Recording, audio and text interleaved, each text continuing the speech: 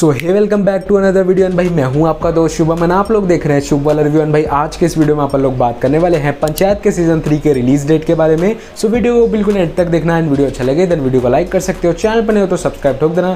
सो बिना वक्त गवाए वीडियो को स्टार्ट कर लेते हैं। तो अगर इस बात में तो कोई सेकंड डाउट नहीं रह जाता है कि पंचायत जो सीरीज़ है वो अमेजॉन प्राइम वीडियो की one of the most popular सीरीजों में से एक है। एंड जिस लेवल का कॉमेडी ड्रामा इस सीरीज़ के अंदर हमें देखने को मिलता है वो किसी और सीरीज़ में आज तक हमें देखने को नहीं मिलता है। एंड देखो यार टीवीएफ क्रिएशन जो है वो आजकल काफ़ी ज़्यादा औसम चीज़ें बनाते जा रही हैं। सो so, खैर एनीवेज यार अब बात कर लें इसके सीज़न थ्री के रिगार्डिंग कुछ करंटली अपडेट्स के बारे में। तो जैसे कि पास के अपडेट्स में मैंने आप लोगों को बता दिया था कि इसका जो शूटिंग वाला वर्क है वो फेब्रवरी या मार्च में आप लोगों को स्टार्ट होता हुआ देखने को मिल जाएगा। हालाँकि उसे थोड़ा सा डिले करके मार्च से अप्रैल के बीच में कर दिया गया है। एंड देखो यार इसका जो शूटिंग वाला वर्क है वो अगस्त के महीने तक चलने वाला है। जिसके बाद ये जो सीरीज़ है वो अपने पोस्ट प्रोडक्शन वर्क में एंट्री कर लेगी जिसमें इसे ऑलमोस्ट तीन से चार महीने का वर्क लगने वाला है। एंड यार अब रहा सवाल कि इसका सीज़न थ्री आप लोगों को फाइनली कब तक देखने को मिल जाएगा? सो रिपोर्ट्स के अकॉर्डिंग चले तो इसका सीज़न थ्री आप लोगों को 2024 के फ़र्स्ट क्वार्टर तक देखने को मिल जाएगा।